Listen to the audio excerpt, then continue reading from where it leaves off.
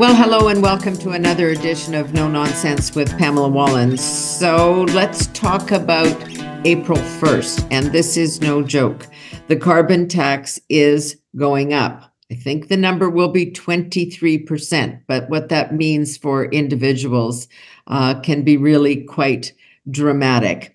This is um, an interesting move because, of course, it was the government itself that uh, conceded that the carbon tax does have an impact on affordability on families, which is why they gave Atlantic Canadians a break on home heating. But when the Saskatchewan government said, okay, we're not going to collect the carbon taxes on home heating in Saskatchewan because you took them off other people, the Minister of Energy said it was anarchy in Canada. So we are going to have this discussion about where we're going with carbon taxes one more time. Brian Zinchuk, he is the editor and owner of Pipeline Online, a website on Saskatchewan's energy news, founded in 2021, but he's kind of a big picture energy guy too, or I think as we called you the last time, and you seem to like the title, a bit of an energy geek. Uh, nerd would. Uh, oh, nerd. Okay. All we'll the above. We'll go with nerd. We'll go with nerd. All right. So this tax is uh, goes ahead April first. Um, we've had discussions with people that say, you know what, high, low. It at least gives the business world predictability, and we know what we're counting on. But I'm not sure it does when we see different rules for different folks in different parts of Canada. But we do know this is going to have an impact on everybody. Oh, absolutely, and and that's a that's a feature. That's not a bug. The entire purpose of the uh, the carbon tax was to make using anything that burns anything uh, more expensive, so you use less of it until the point where you stop using it. Well, yeah. it's pretty hard to do that when your heating systems for well over half the country are natural gas. Uh, yeah. I do my dad's uh, finances. I think I mentioned this to you last time, and for a while there, he had a shop. The shop's now the neighbors bought it but he was uh, for a medium sized shop, uh, which would be very typical on any farm or anything like that. Yep. Minimally heated. Uh, he was paying seven hundred dollars a month in wintertime for for gas bills, and a huge chunk of that was a carbon tax. I mean, right now, uh, if the Saskatchewan government had not removed carbon tax, the and, and anyone who looks at their Sask Energy, which is our natural gas utility in Saskatchewan, you looked at those bills, you find that the price of natural gas is just about equal to the carbon tax. Yeah. And after April 1st, the carbon tax will exceed that. So you have to ask yourself, you know, why am I being punished for keeping my house warm and hot water and keeping grandma warm? Uh, mm-hmm. Uh, you know, just for the sake of living. How can I possibly make that go away? The federal government has been saying, oh, well, we'll just put heat pumps in and heat pumps will run off electrical. Well, we don't have the electrical capacity to put everyone on heat pumps, number one. Number two, they might work in Atlantic, Canada, where uh, it doesn't get much below minus 25. Minus yeah. 25 is a warm day in Wadena. Yeah, for sure it is.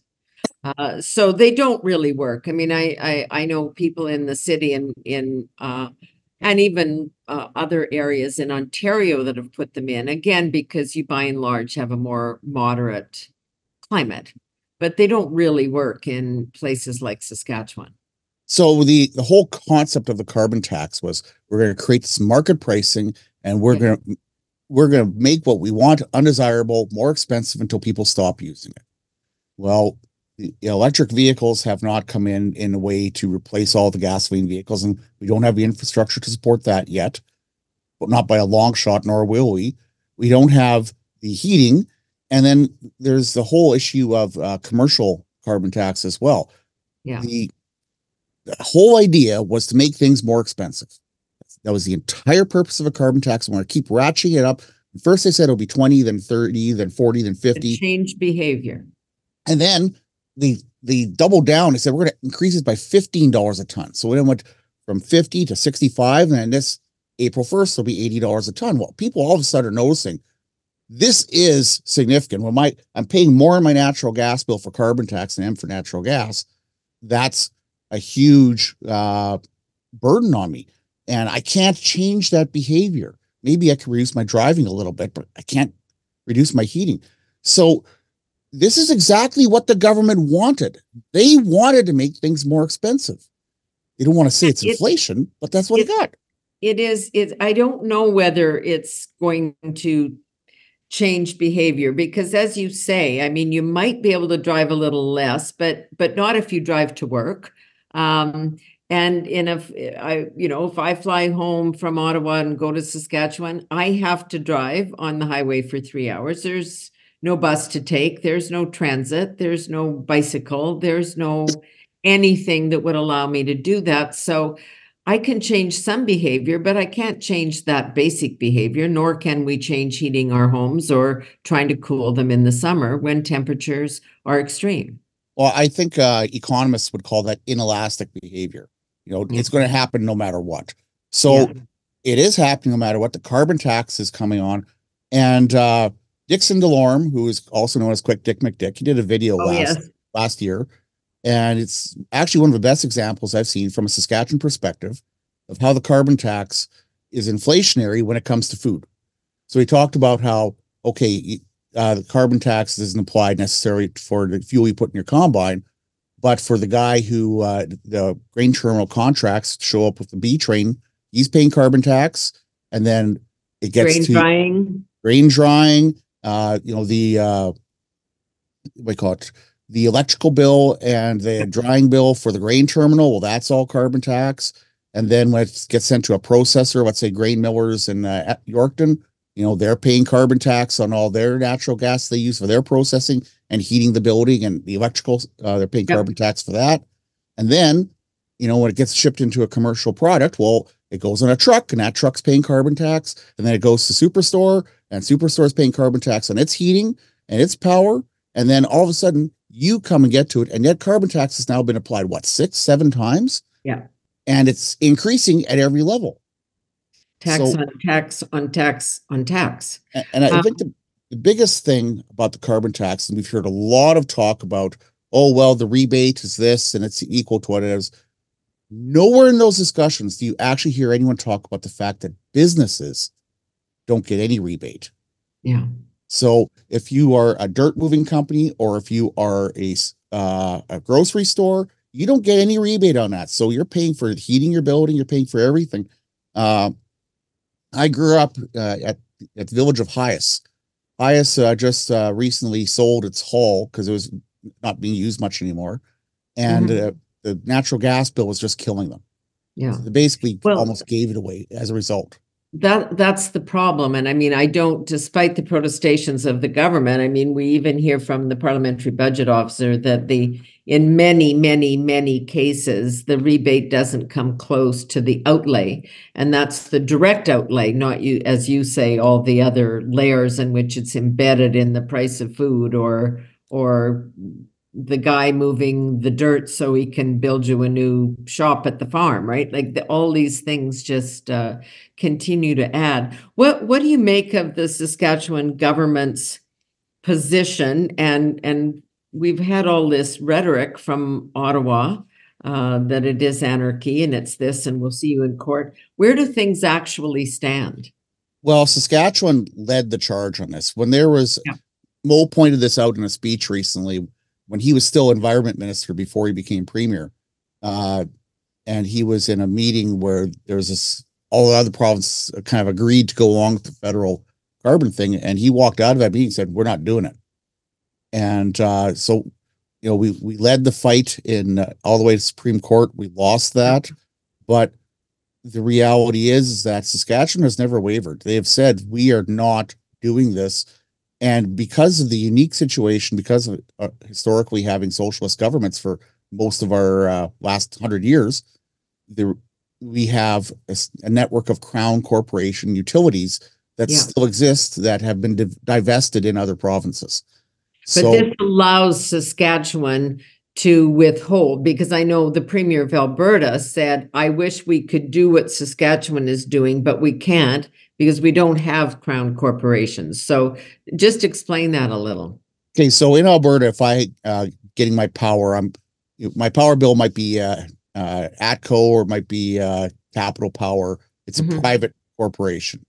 Uh, where is as in Saskatchewan, all of my power, unless you're in Saskatoon, Saskatoon is a city of Sas, uh, Saskatoon has its own utility, but otherwise, all the power in Saskatchewan is uh, is done. The grid is done through Sask Power, which generates the bulk of it. They Yep. uh, and all the natural gas by law transmitted through pipeline Saskatchewan all goes through Sask Energy, which is Crown Corporation. And what a lot of people don't necessarily realize is that, and this has been definitely reinforced with this whole debate, the crown is the government, the government is the crown. Most people don't think of it that way Mhm. that's really come to the fore with the whole legal stuff here is Right. that and because we have two sovereign levels of government we have uh you know in constitutional stuff we've got the federal government and we've got the provincial government Yep. one can't necessarily tell the other what to do and that's what the saskatchewan government has done is they've said okay we're taking all the responsibility that is being applied to this we're putting it all on the minister responsible who happens to be dustin duncan from uh, uh weyburn big muddy and if anyone is to be uh, charged to go to carbon jail, as they're saying, it's Mhm. Dustin Duncan. He's going to he's going to be sacrificed on the carbon cross, and he's going to you know be punished for our carbon sins. So he's the minister responsible for these two crown corporations, and the argument is, is that we're controlling this and we run it. This is the um property of of the crown, meaning the government, meaning the government of Saskatchewan and the government of Ottawa can't say this is what you must do. Uh, This is something that's not usually seen in uh, Canadian politics. We don't Right. usually have uh, provinces standing up and asserting what is constitutionally their right to do and and to be uh, you know affirmative in that action. Usually, provinces is kind of you know they they nod their head and they bow down to whatever the feds want, and this is a rare thing. And you know, the, so the Moe government's been doing that. Uh, Smith has been you know in lockstep with them. Uh, some people think Smith has been pushing harder. I would say they're they're both pushing this really hard. Yeah. And you know So, they're getting some they support from that. have the option to fight it on these grounds. This is, this is, and this will no doubt be challenged in the courts. Absolutely, but you know Yeah. th- this really comes down to the fact that if the Trudeau government had not given the uh, the carbon tax uh, carve out for Atlanta, you know, for people use heavy oil uh, for fuel, which I grew up with as a kid, uh, but it's almost entirely in Atlantic Canada. And if he didn't stand there and say it with all of his Atlantic caucus behind Yeah. him, making it very clear it was a political issue. Yeah. If if they had just left the carbon tax as is and let the Atlantic people pay it through the nose like they are, they, we wouldn't be here now. It, this is Yeah. uh, you know, No, it does seem to be a self uh, imposed um, you know, fight that is uh is is certainly going to unfold. It's kind of like uh, oh, this is back in the seventies before my time, but the conservative leader who fumbled the football Yes. Uh, and you know never recovered from that. And this is that was very much this moment to that the they Yeah. they uh you know they lost the ball. Yeah, self-inflicted wound. Okay, I want to come back to so just to make sure that I've got because the last time we talked, we were talking about all of the taxes. So there's the carbon tax, and we've been focused on that, and the increase goes into effect 23%. What about the clean fuel tax? Where are we with that? honestly, I haven't heard much about that at all. That's one of those things they brought in, and they just kind of, you know, we don't talk about Just that. sitting there. It's there. It is the driving factor behind the uh, uh, the development of additional canola crushing plants in Yorkton, in uh, Regina. Uh, if the clean fuel standard was there, those would not be happening. I tell you that. My mom is the closest neighbor to the ones in Yorkton. Like literally, uh, it's right across the tracks, about fifty yards away. So they are that is driving that. So Uh, explain that. There, it's driving what exactly? Well, the clean fuel standard wants to decarbonize fuels, being Right. that almost all fuels are made of hydrocarbons. That's akin to saying we're going to take the wa- the H2O out of water. Yeah. It's it's literally utter nonsense, but it's the the, the term decarbonize. You, so the idea is instead of uh, using fossil fuels such as oil or natural gas mm-hmm. or uh, gasoline, it's to use biological fuels, biofuels. So, so we're going to uh, take food sources like corn and all of that, or canola waste, and turn it into biofuels. Well, I wouldn't say it's canola waste. It's a canola. It's a prime product of the canola. It is. So, eh? Yeah. So I talked to a guy here a couple years ago who was in charge of building a uh, one of these crushing plants. It didn't go ahead, but I asked him, "Is this being driven by the clean fuel standard?" He said, "Absolutely." He, uh, basically, in Saskatchewan, because of crop rotations, you can't grow canola yeah. every year. Yeah. About one third of uh, of our crops are canola, and as a result, because it, it pays yeah. among the best, so people want to grow it as often as they can. Absolutely. Yeah.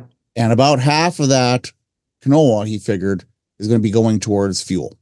So, so they're once, building these plants uh, to create biofuels that will then i mean part of the, the where where i've read about this in the states though is actually in places like iowa and all of that where they're they're taking corn crop which is used for either human or animal feed and taking it out of that system and then putting it in the biofuel system so we're kind of robbing peter to pay paul yeah absolutely so uh, where i was going with that example is that it works out to roughly one sixth of saskatchewan farmland will be used to grow fuel instead of food now that Oh. That might be great, and that's just for the canola part. That's not on the uh, yeah. The, yeah. the wheat side.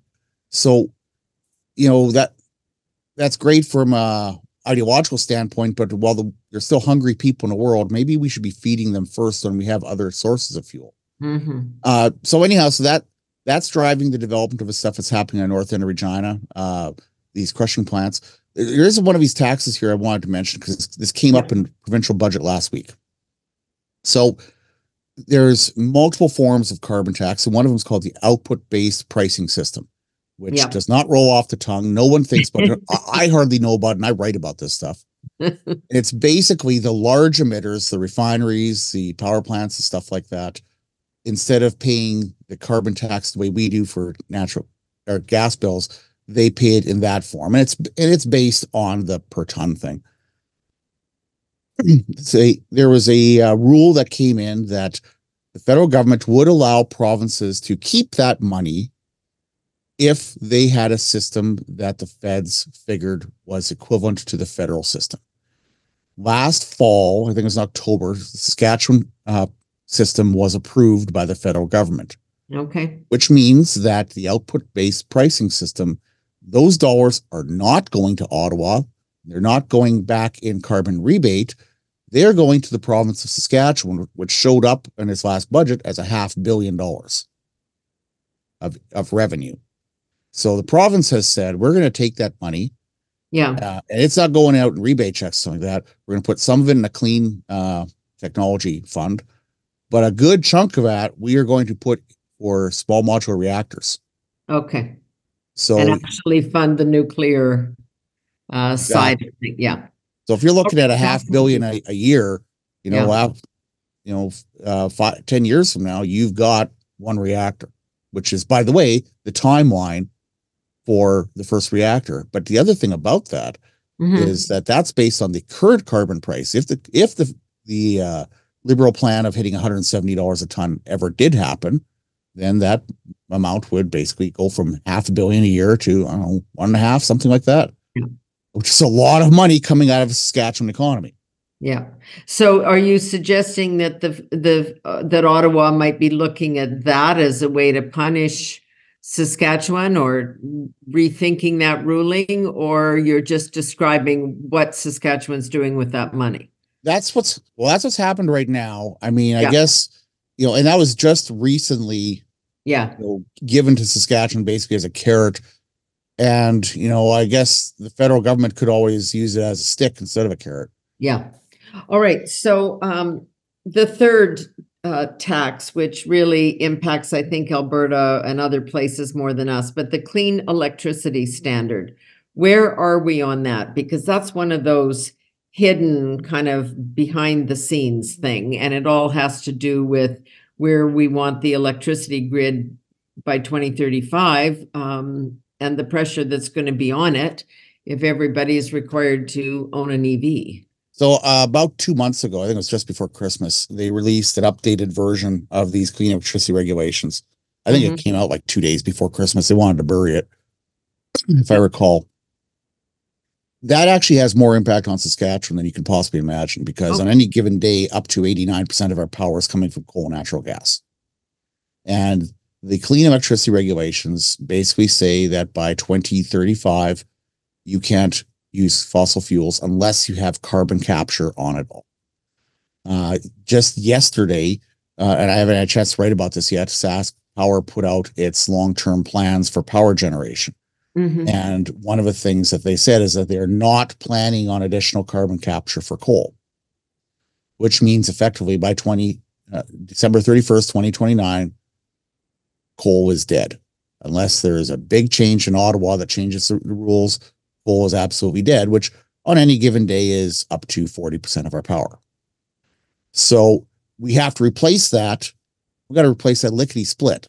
Now, the, yeah, uh, but can we? I mean, this is part of the debate we keep having. The timeline here is exceedingly short. It's impossible. It's a, it's utterly impossible. So right now, uh, it's I think this is third year of construction. They're they're just finishing up the Great Plains uh, Power Station in uh, uh, and it's 370 megawatts. So it's about a roughly equal to a quarter of our coal capacity, quarter to a third.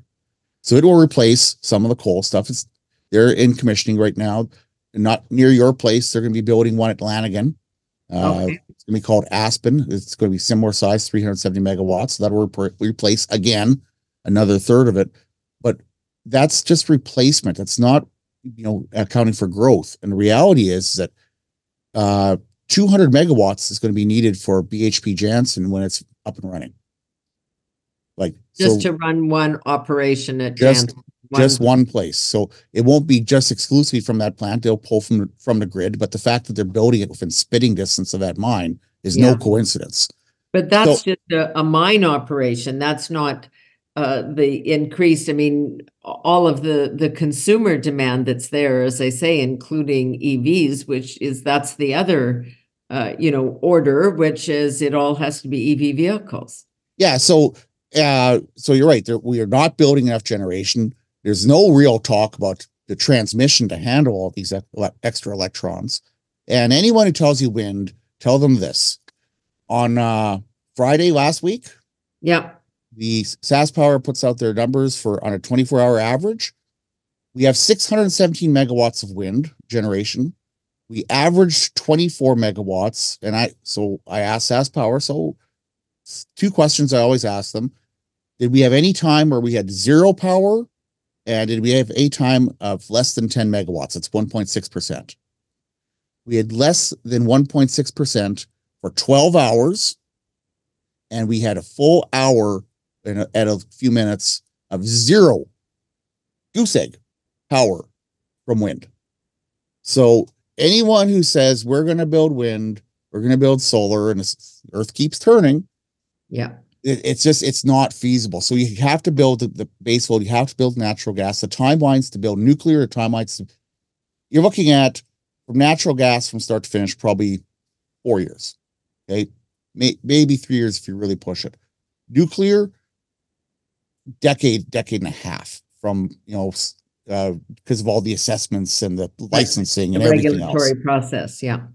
so we've got to go you know we've got to really really build these things out uh and we're not i mean the plan that they have is not enough to go anywhere close what the federal government says of needing to increase the grid by two and a half times You know what I read the other day, Brian, and it just always strikes me is that 2023, we are still at peak oil consumption, um, not just in Canada, but pretty much in the world. Like we're still, we're, we're going to need this fuel source, this energy source for quite some time.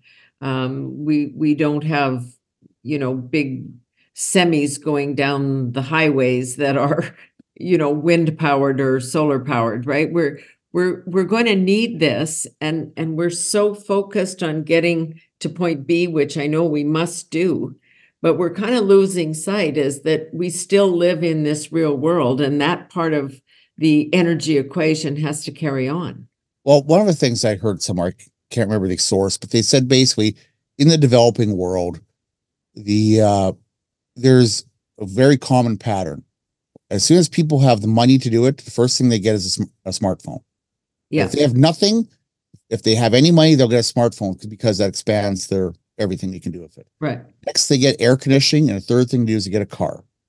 And as the developing world, you know, talking Africa, Asia, and everything, as they expand economically and come out of the depths of poverty, as the enormous quantity of people have in the last 20 years, they want vehicles. There is that is why demand is. I mean, you look at pictures of uh of uh Beijing, you don't see 10,000 bicycles in a uh, street anymore. You see 10,000 cars. Yeah. No, that that demand is there. Now, I guess there was some recognition of this that uh, and I and and you, you've mentioned this about the provincial budget, not the federal budget, but kind of recognizing that the oil and gas industry is still alive and still needs to be um, uh, enticed to do what they do as long as we need their product. Yeah. So my lead story that came out this morning is uh, about the biggest change in royalties in Saskatchewan in roughly two decades. Uh, so for the, the first uh, six years of Saskatchewan Party government, Bill Boyd was Minister of Energy, and mm-hmm. he gave the same speech so many times I stopped taking notes. His speech was, uh, you know, the premier has told me to say thank you, thank you for the jobs, thank you for the royalties, thank you for the taxes, and we're not changing a thing on royalties. Yeah. And uh, they made the that, world predictable for the energy sector by uh, just yeah stability, stability, stability. Now, most people think when you t- start talking about royalties, the automatic assumption is, well, the government's going to jack them up. That is not what happened on March 20th. Uh, what they've done is that there is a new pattern of drilling wells that is incredibly complex, that is revolutionary, that it's been it's become very common in Northwest Alberta, a place called Clearwater and it's been experimented with throughout different areas of Saskatchewan. And it has the potential to dramatically impact almost all oil production across the province. What, what do you mean? Like a new pattern? What what does it do? It literally is a pattern. So imagine. So I got my piece of paper here. Yeah. So typically, you drill well, you come, yeah. you start from the surface, you come down, and you go horizontal. Right. And this part here produces oil, the bottom part. Mm. That's called a horizontal leg. Sometimes you'll do a second leg. Well, this is what the new ones look like. What smaller legs and no longer, up to two oh, miles long. Okay, okay. And instead of one or two legs, eight, ten. Uh, there's another design that looks like this. So fewer wells, but more access underground. So yeah. the yeah. So the other one looks like this. Comes out here, and then it looks like a palm frond. You look like at any leaf, you see the veins on a leaf. Yep. So in Saskatchewan already, one company has drilled one of 39 of these legs. Wow. So the so, incentive here is that uh, we want companies to do more of this. This means less surface uh, stuff, but more underground. Exactly. It, it get the oil out, but don't disrupt the surface and let and, communities carry on. So the biggest thing is what they call contact with the reservoir. What that means is the more we can touch the rock and more we can suck oil out of a rock, the better it is.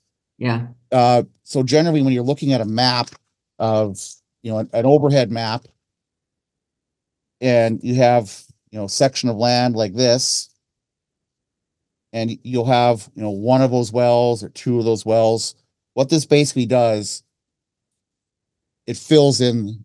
It's like okay. you take a, a color, a crayon, you're filling in the square.